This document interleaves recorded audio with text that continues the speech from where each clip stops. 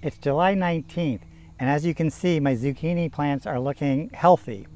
If I hadn't gone and looked for egg masses, these would have hatched and destroyed my plants.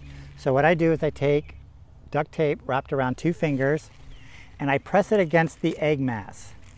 When you do this and you can't get, say there's four eggs here that I can't get off they, because they're nestled right next to the leaf, I will just use my fingernail, scrape them off and place them on the duct tape.